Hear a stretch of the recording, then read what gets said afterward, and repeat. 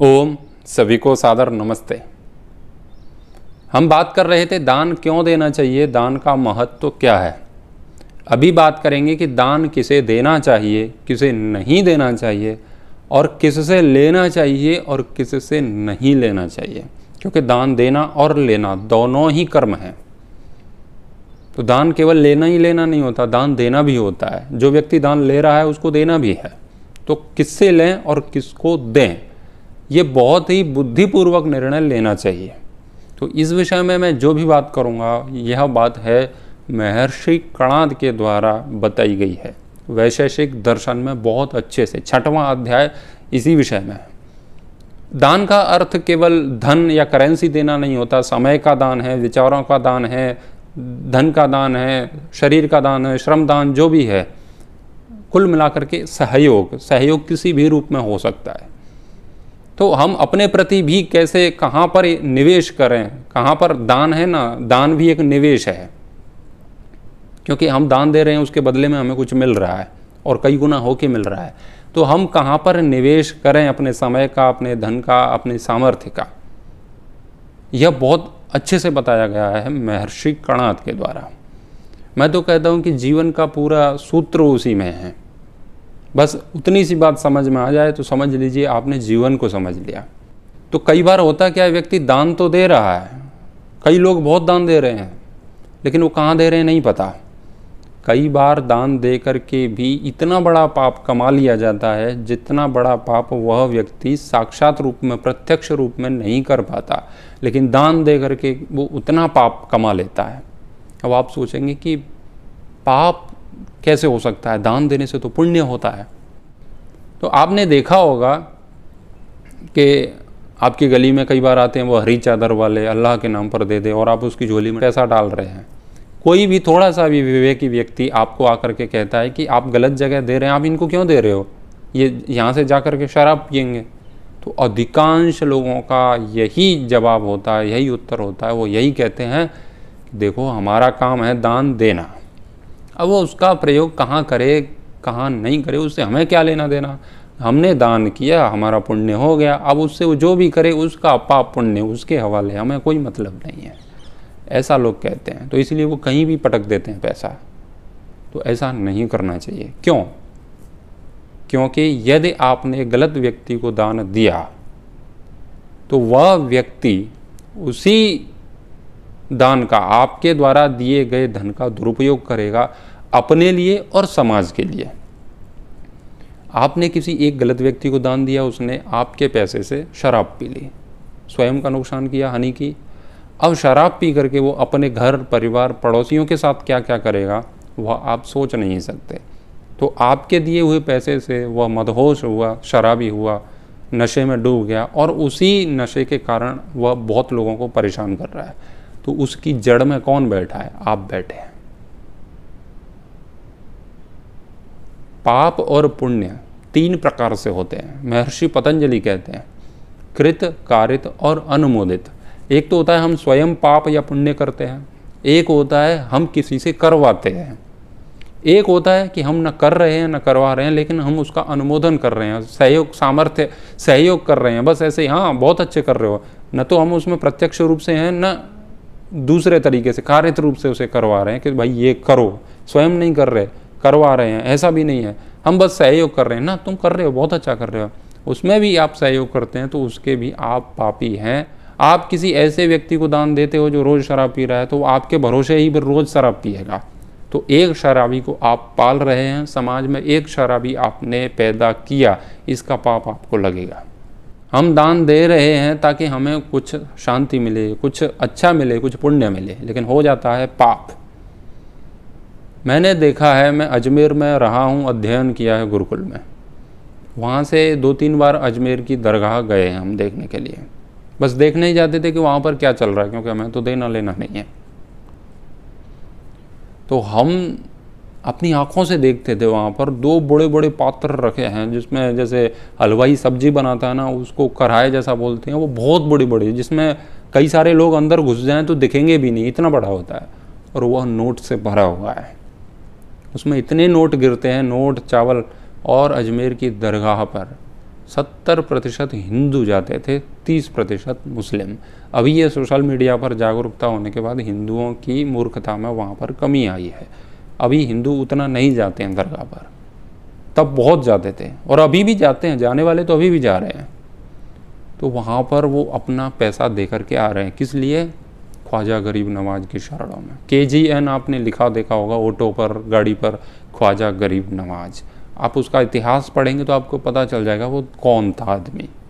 पृथ्वीराज चौहान के साथ उसने क्या किया क्या करवाया और उन, उनकी पत्नी के साथ उन्होंने क्या किया क्या करवाया कैसे आक्रमण किया वो आप पढ़ेंगे तो पता चल जाएगा।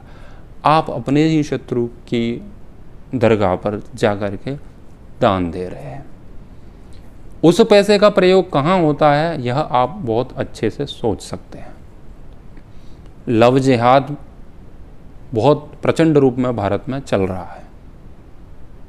उसके लिए जो लड़के चयन किए जाते हैं ना कि तुमको इतनी लड़कियाँ फंसानी हैं तो उनको मस्जिद से, मौलवियों के द्वारा, उनके जो भी संस्थाएँ हैं, वो उनको पैसा देती हैं, उनको बाइक देती हैं, उनको पैंट शर्ट सेंट लगाने के लिए, चश्मे के लिए, पेट्रोल के लिए, जूते के लिए, मोबाइल के लिए, हर चीज़ के लिए वो पैसा दे रहे हैं। कहाँ से आ रहा है वो पैसा? आपने कभी सोचा है? सारा पैसा तुम्हारा ही घूम पर करके तुम्हारे ही विरोध में उसका प्रयोग किया जा रहा है। आप पीर मज़ार दरगाहों पर आप दे रहे हो पैसा, उसका पैसा जिहाद के लिए काम आता है। आपने किस लिए दिया? आपने लिए, दिया पुण्य के लिए। लेकिन आपका ही पैसा घूम के तुम्हारे ही खिलाफ प्रयोग किया जा रहा है उसका। उससे ही शस्त्र बनाए जा रहे हैं। चाहे वो किसी भी प्रकार के शस्त्र हों, उनके चाहे लव जिहाद है, वो भी शस्त्र है, उनका लैंड जिहाद है, और जो पेट्रोल बम जो भी है, दिल्ली में दंगे में जो काम आए, वो सब पैसा तुम्हारा ही है। तुम्हारा ही पैसा घूम करके तुम्हारी छाती पे आके बैठ जाता है। छुरा गौंप देता है तुम्हारी छाती में, तुम्हारा ही पैसा। तुमने 500 का नोट दिया, वही 500 का नोट एक चाकू के रूप में बदल करके आपके सीने में घुस जाता है। आपकी बहन बेटियों को घर से उठा ले जाते हैं वो लव जिहाद के नाम से। आपका ही पैसा है जिससे वो व्यक्ति जो आपकी बेटी को उठा के ले गया, यानी कि जो आपका शत्रु है, वो आपके पैसे से ही आपका अपना खर्चा चला रहा है। तो आप गलत लोगों का सहयोग कर रहे हो, यह पाप है। यह कारित पाप है। और जो लोग कह रहे हैं ना, कहीं भी देना चाहिए, वो अनुमोदन करके पाप कमा रहे हैं। तो आपने किस लिए दिया? आपका ही पैसा, आपका शत्रु बन गया, आपको पता ही नहीं चला। क्यों? क्योंकि आपके दिमाग में यही बैठा था, दान देना चाहिए, कहीं भी देना चाहिए, क्या फ़र्क पड़ता है? तो आप दे रहे हैं। एक बात आपको बहुत अच्छे से समझनी चाहिए, और व्यवहारिक जीवन में भी आपको दिखता है। शास्त्र क्या कहता है, उससे उतना कोई मतलब नहीं आप सीधे सीधे समझ सकते हैं। यदि आप एक व्यापारी हैं तो व्यापारी क्या करता है? सौ रुपये लगाएगा तो पाँच सौ लेने के चक्कर में रहता है ना? और यही तो व्यापार है। जहाँ से हमको लाभ हो, वह व्यापार है। कोई व्यापारी सौ रुपया लगाता है कहीं पर और वहाँ से उसे पाँच सौ रुपया मिलता है। और उसी व्यापारी को बता दिया जाए कि आप यहाँ पर सौ रुपया लगाएँगे और बदले में आपको एक हज़ार मिलेगा। निवेश, आप सौ रुपये का करते हैं तो हज़ार रुपया आपको प्रॉफिट होगा। तो वह व्यापारी पैसा कहाँ लगाएगा? जहाँ से 500 मिलते हैं, वहाँ लगाएगा या हज़ार मिलते हैं, वहाँ लगाएगा? सीधी सी बात है, मूर्ख व्यक्ति भी जानता है इतनी सी बात। वह वहाँ लगाएगा जहाँ से हज़ार होकर के आता है। लेकिन उसे दो हज़ार को ऑफ़र मिल जाए तो कहाँ लगाएगा? वो हज़ार को तुरंत लात मारेगा। हज़ार वाले ऑफ़र में, तुरंत दो हज़ार वाले में वो सौ रुपये का निवेश करेगा इन्वेस्टमेंट करेगा वो। तो हम ज़्यादा से ज़्यादा रिटर्न में लाभ चाहते हैं हर चीज़ में। केवल धन ही नहीं है। तो हमें ऐसी जगह पर निवेश करना है जहाँ से कई गुना होकर के हमें मिले। वो केवल धन ही नहीं, वो शांति भी हो सकती है, सुख भी हो सकता है, कुछ भी हो सकता है। तो आप ऐसी जगह दान न दें, ठीक है? वहाँ से समाज में हानियाँ हो रही हैं। तो आपका पैसा सुख लाया या शांति लाया या दुख लाया या अशांति लाया? दुख और अशांति, सीधी सी बात है। तो वहाँ पर निवेश नहीं करना है, क्योंकि वहाँ पर लॉस हुआ, आपके पैसा गलत जगह गया। तो लॉस का व्यापार कौन करता है? कोई मूर्ख नहीं करता। लेकिन आप मूर्ख हैं, आप ये सब कर रहे हैं। आपको पाप भी लग रहा है, आपकी आत्मा का आनंद हो रहा है, आपके जीवन के लिए भी घातक है और आप वो कर रहे हैं। तो वह ऐसी जगह पर दान नहीं देना चाहिए। तो कहाँ देना चाहिए? तो इससे अच्छा विकल्प और क्या है? जैसे सौ, जैसे पाँच सौ और हज़ार, दो हज़ार का विकल्प मैंने बताया। ऐसे ही दान में विकल्प होते हैं। तो कहाँ देना चाहिए? वहाँ नहीं देना चाहिए। तो कहाँ देना चाहिए? उससे अच्छी जगह पर देना चाहिए जहाँ पर हानि नहीं होती है। तो हानि नहीं होती है ऐसी कौन सी जगह है? तो जैसे मंदिर में दे दिया। मंदिर में आपने दे दिया पैसा। तो वो आतंकवाद में तो काम आने वाला है नहीं, ठीक है? तो मस्जिद में दिए गए धन से अच्छा है कि आप मंदिर में दान दे रहे हैं। लेकिन मंदिर में भी दान दिया, उससे समाज को क्या लाभ हुआ? अभी बड़े बड़े मंदिर तो सरकार के कब्जे में हैं। वहाँ आप जो पैसा देते हो, अधिकांश तो बड़े बड़े मंदिर से सरकार ले जाती है और वही सरकार उन लोगों को हज पे भेजती है, उनके लिए राशन देती है, पता नहीं क्या क्या करती है। तो आपके द्वारा मंदिर में दिया गया पैसा आपके धर्म के लिए उपयोग नहीं हुआ, वो उन लोगों के लिए उपयोग हो गया। और उसमें से जो बचा, मंदिर में भी यदि वो बच गया तो वो किस काम आ रहा है? मंदिर में ज़्यादातर तो पैसा कई बार इतना आता है और आ रहा है, आपको पता ही नहीं है वो पैसा जा कहाँ रहा है। मंदिर में भी पैसा दे रहे हो तो उससे मान लीजिए कि उससे भंडारा हो रहा है, यानी कि लोग भोजन कर रहे हैं। तो भोजन करने में भी आपको रिटर्न क्या मिला? लोगों की भूख मिटी, अच्छी बात है। भूखों को भोजन खिलाना अच्छी बात है। लेकिन इससे भी अच्छी जगह हो सकती है। लोगों को धर्म के लिए दान की बात करो ना, वो भंडारे में पैसा देते हैं। इतने इतने भंडारे, भंडारा समझ रहे हो ना, मालपुआ, खीर, इतनी बनती है ट्रॉली की ट्रॉली भर भर के, ट्रैक्टर में भर भर के ले जाते हैं और हज़ारों लोग भोजन कर रहे हैं। और भोजन में लोग इतना दान देते हैं, आप पूछिए ही मत। यज्ञ के लिए उनसे मांगो ना तो वो नहीं देंगे। यज्ञ में उनका कोई रुझान नहीं है, कोई रुचि नहीं है। भंडारे में उनका पूरा रुझान है और जिनके पास नहीं है, वो भी हज़ार, दो हज़ार कर करके, वो मिल करके और वो भंडारा कर देते हैं। तो सोच लीजिए, आपने एक हज़ार लोगों को भोजन करा दिया तो वो भूख मिटी उनकी, ठीक है। अगले दिन वो फिर भूखे हैं। अगले दिन वो फिर भूखे हैं। और आप बार बार उनको भोजन करा रहे हो तो वो अब आपके ही भरोसे बैठ जाएँगे कि रोज़ तो ये भोजन करा ही रहे हैं, अब करने की आवश्यकता क्या है? तो आपने इतने नाकारा व्यक्ति पैदा कर दिए। और आप उनको भोजन भी करा रहे हैं ना तो भोजन से इन्वेस्टमेंट समाज के लिए उसने क्या किया? जिसने भोजन खा लिया, उसने समाज के लिए क्या किया? केवल अपनी भूख मिटाई। तो आपने केवल उनकी भूख मिटाई, उसके रिटर्न में, अब उससे आगे की जो प्रक्रिया होनी थी, वो बंद हो गई। तो मस्जिद से अच्छा था मंदिर में दान देना, लेकिन मंदिर में भी आप दान दे रहे हो, उससे भी मंदिर में दान दे रहे हो और मंदिर बना रहे हो। रोज़ मंदिर खड़े हो जाते हैं। मंदिर के लिए दान मांगो ना कि भाई मंदिर बनाना है, भगवान परशुराम का, राम का, कृष्ण का, रोज़ नए मंदिर बन रहे हैं। अभी इस्कॉन का बन रहा है वृंदावन में? चंद्रोदय मंदिर, इतना बड़ा बन रहा है, सबसे बड़ा बिज़नेस वहाँ से चलने वाला है। और लोग दान देंगे, वहाँ पर खूब देंगे, जाएँगे और वो पेटियाँ भर भर के, मंदिरों में जाओ ना, खूब भर भर के दान देते हैं।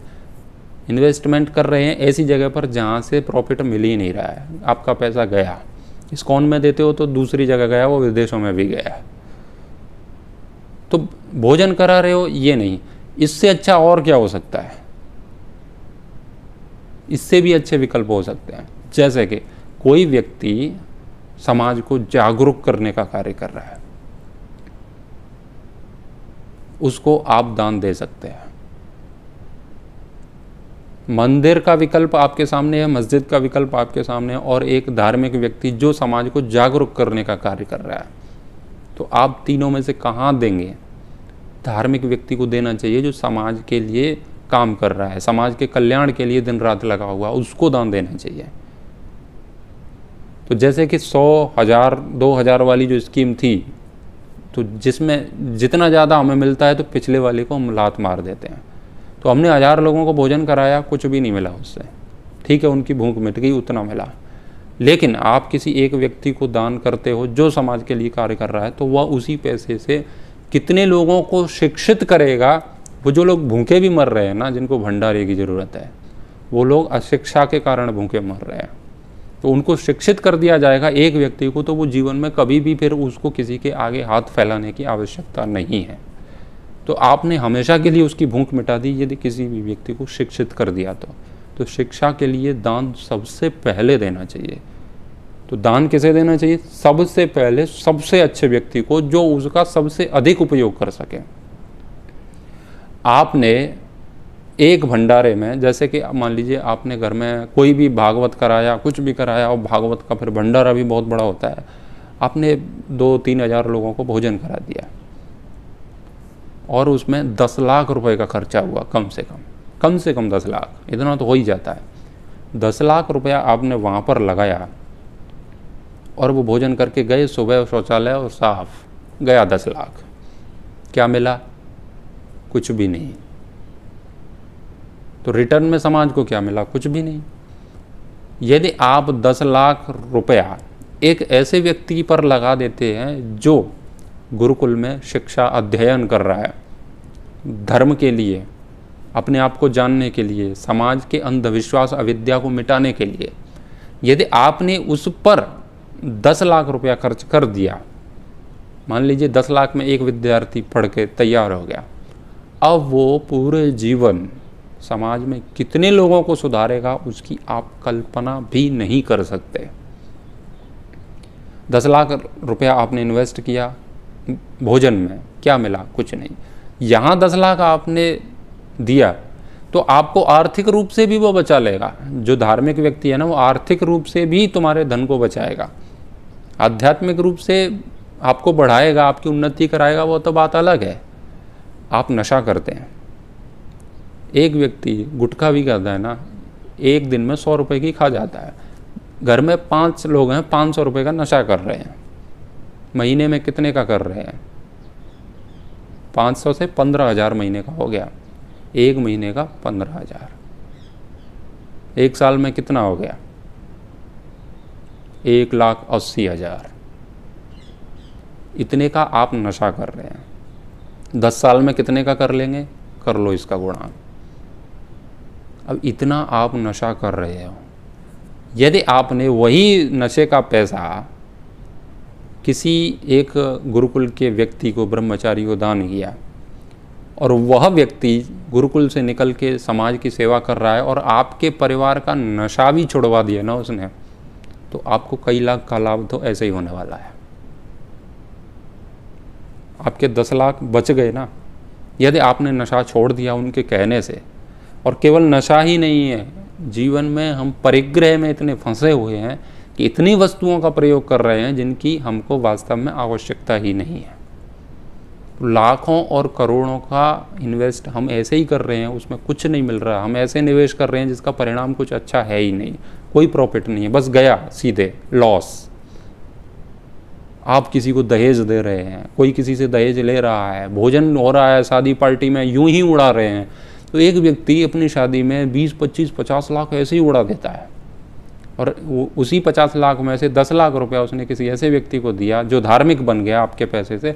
वही व्यक्ति यदि आपको इतनी सी सच्चाई बता दे कि आप ये व्यर्थ पैसा गंवा रहे हो ये ठीक नहीं है आप अपरिग्रह का पालन करो, जीवन में कम से कम वस्तुओं का पालन करो और अपने पैसे का सही जगह उपयोग करो। तो वह पचास लाख रुपया जो आप शादी में उड़ाने वाले थे, वह बच गया।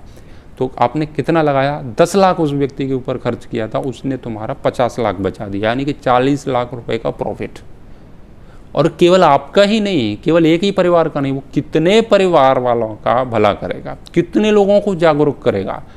यदि मेरे कहने से हज़ार दस हज़ार लोगों ने भी नशा छोड़ा और हज़ार दस हज़ार लोगों ने भी ये शादी का फालतू का नोटंकी ड्रामेबाजी में जो पैसा खर्च होता है, वो ड्रोन कैमरा उड़ के आ रहा है, क्रीम पाउडर, महँगे महँगे कपड़े, टेंट और हलवाई, बहुत जो नोटंकी जितनी भी है, वो सब बंद कर दी। एक हज़ार परिवार ने तो आप लगाइए बीस लाख का गुणा एक हज़ार करिए, कितना करोड़ रुपया बचेगा? केवल आपके वही दस लाख रुपए में। और ये केवल आर्थिक रूप से है। इतना पैसा आपका बचा रहे हैं।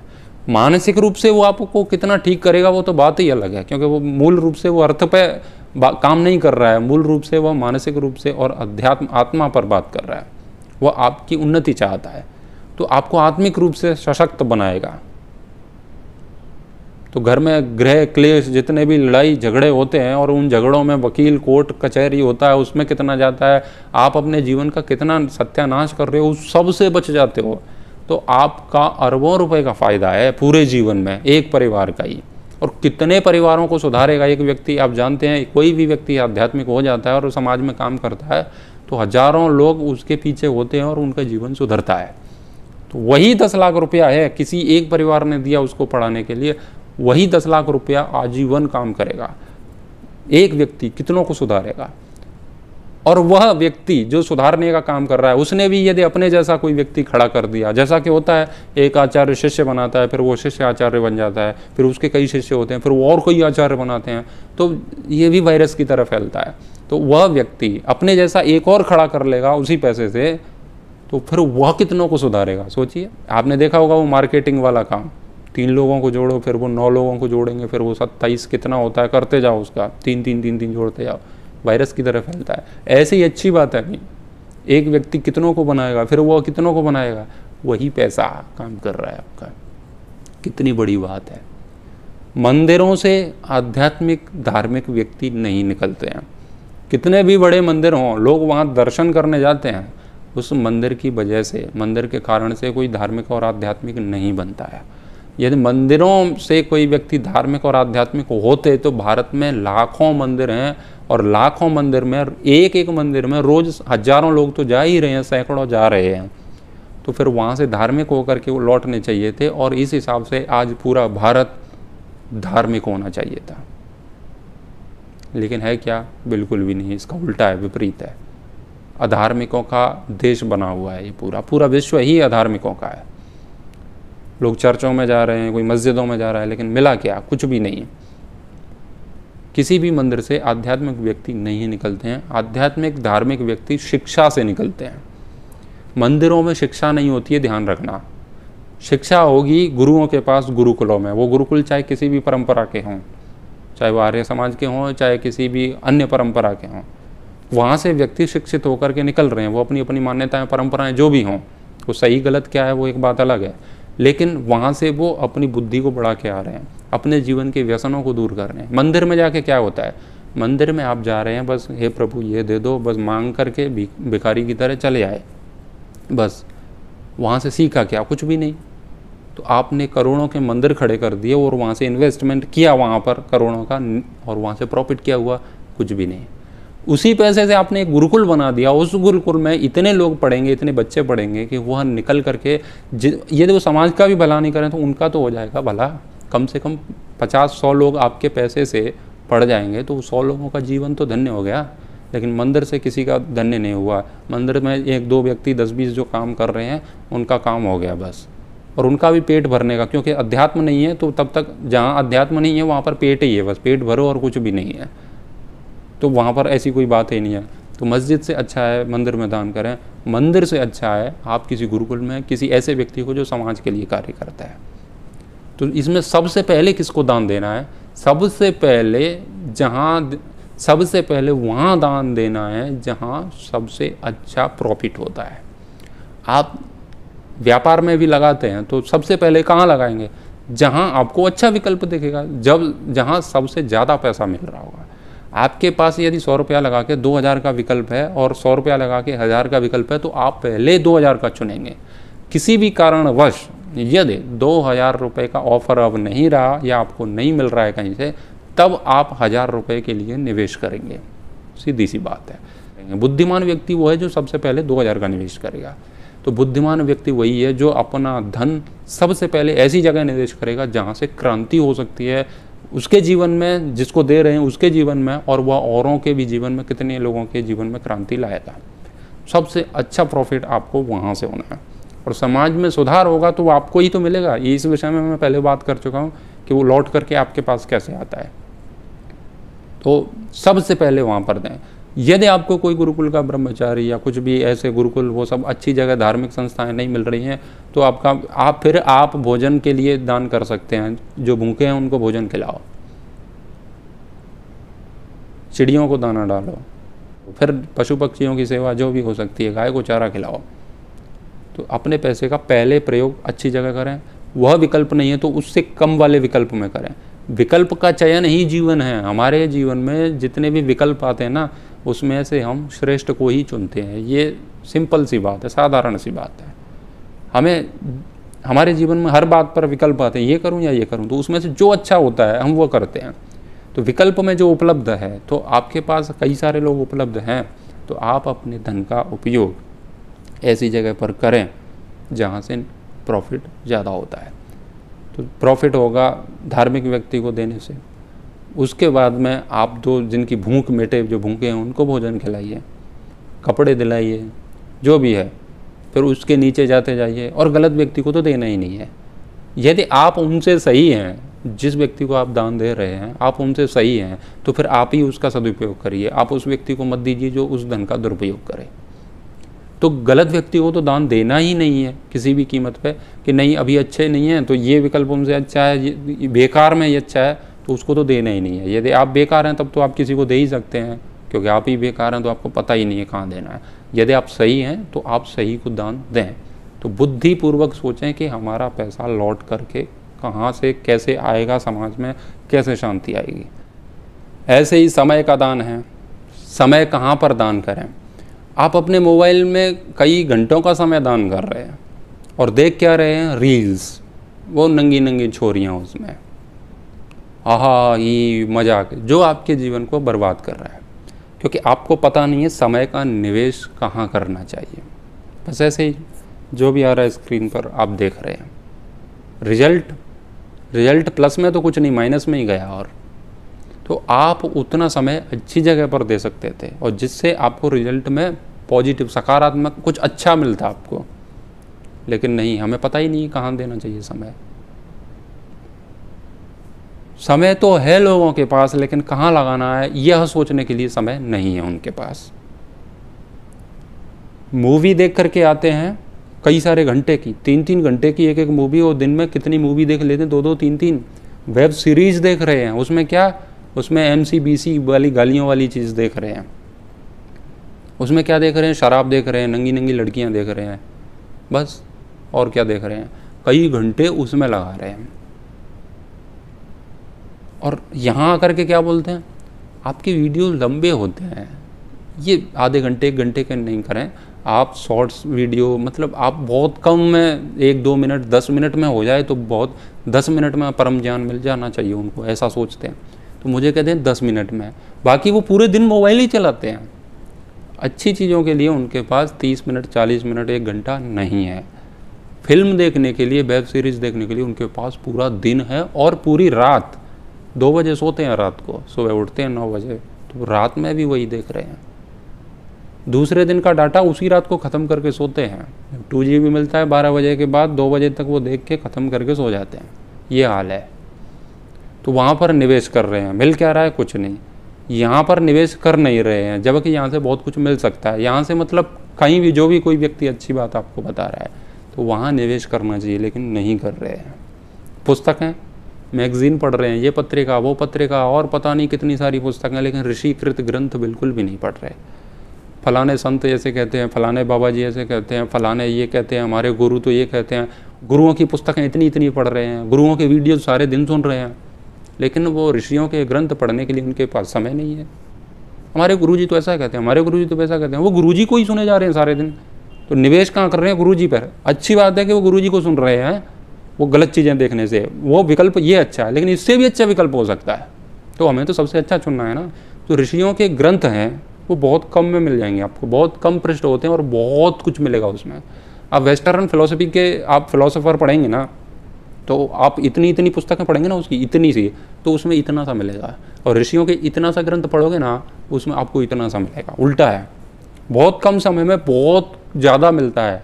और आप गलत जगह पर पुस्तकें पढ़ रहे हैं, गलत पुस्तकें पढ़ रहे हैं, वहाँ पर बहुत पढ़ोगे तब बहुत कम मिलेगा। नहीं हो विश्वास तो आप ऋषियों के ग्रंथ पढ़ के देखिए। तो उनके पास ऋषियों के ग्रंथ पढ़ने के लिए समय नहीं है। वो वैसे पढ़ रहे हैं गुरु जी की किताबें पढ़ रहे हैं गुरु जी के दिन रात वीडियो सुन रहे हैं, लेकिन वो ग्रंथ नहीं पढ़ रहे जिनसे बहुत कुछ मिल सकता है। तो कहाँ पर समय देना चाहिए उनको नहीं पता है। तो एक तो वो हैं जो गलत चीज़ें देख रहे हैं, उनसे अच्छे ये लोग हैं जो गुरुजी को सुन रहे हैं, कम से कम गुरुजी की किताब पढ़ रहे हैं, लेकिन उनसे भी अच्छे हो सकते हैं कि वो वहाँ पहुँचें जहाँ पर सही बात, एकदम सत्य बात है और बहुत कम समय में बहुत मिल जाए। तो ये समय का दान है, समय भी कहाँ लगाएँ ऐसे ही परिश्रम है। अब कोई भी चीज़ आप सोच लीजिए, शरीर से मेहनत किस चीज़ में करें? एक तो होता है कि आप किसी गलत ढंग से विधि से व्यायाम कर रहे हैं तो उससे आपका शरीर उतना नहीं बन पा रहा है, कई घंटे उसमें लगा रहे हैं। एक व्यायाम ऐसा है कि वो कम ही समय में ज़्यादा है तो वहाँ लगाओ ना। शरीर का भी दाम है, दान है, धन का दान है, श्रम का दान है, समय का दान है तो जहाँ सबसे अच्छा मिले, वहाँ पर दान कीजिए, सबसे अच्छा।